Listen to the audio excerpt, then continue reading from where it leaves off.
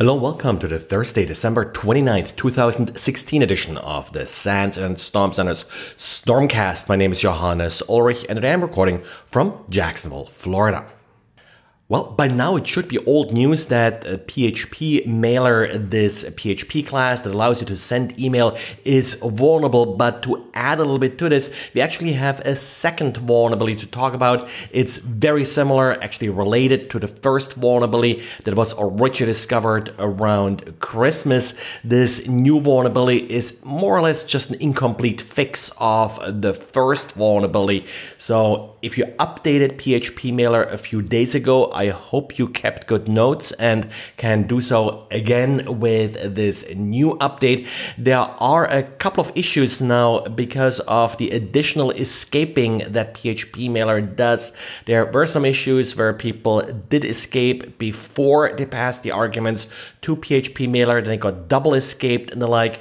So uh, I don't think uh, this problem is actually completely solved at this point. Your best bet is if you are setting a from address, set it to a fixed string. The from address should match the server the email comes from anyway. It's bad practice to set it to uh, an address that's provided by the user because you're not necessarily authorized to send email on that user's domain's behalf.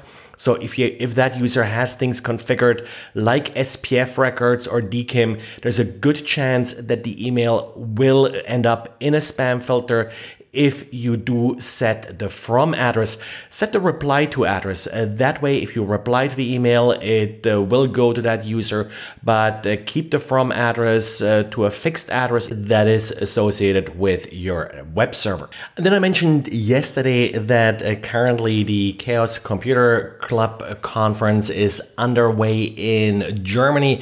There are two talks I want to point out uh, today. one about lockpicking in the Internet of Things things. It's talking about a lot of these smart locks that are currently being offered for sale. A lot of them use Bluetooth, Wi-Fi, and uh, some of them are even controlled via cloud systems.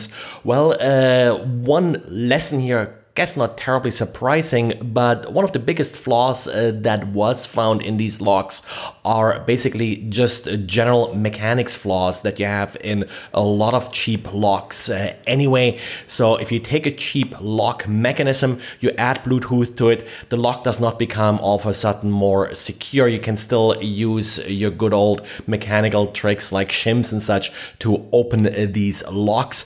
On the technical side, in particular the cloud part appears appears to be somewhat vulnerable there.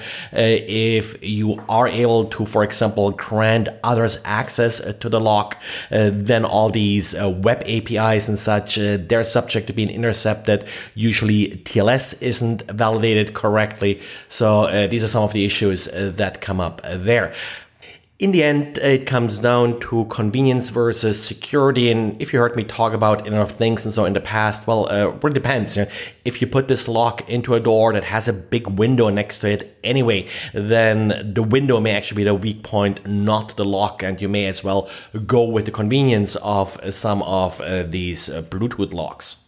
The second talk hit on one of my favorite topics, and that's IPv6 and how to map IPv6 internet wide. Uh, the author here presented an interesting little trick uh, with reverse DNS, where essentially a reverse DNS server for a zone will sort of give you an indication if it obeys the RFC, whether or not there any smaller networks within that zone that are offering reverse DNS. So this allows for a little bit of modified kind of binary search that's relatively fast. Has issues like uh, not all DNS servers actually obey the RFC the way this tool expects it to. And then secondly, you also have ISPs that just do assign reverse DNS for all of the IPv6 space they're offering. So then it gets a little bit more difficult to figure out what's real, what's not not. But interesting approach if you are looking for better ways to scan IPv6.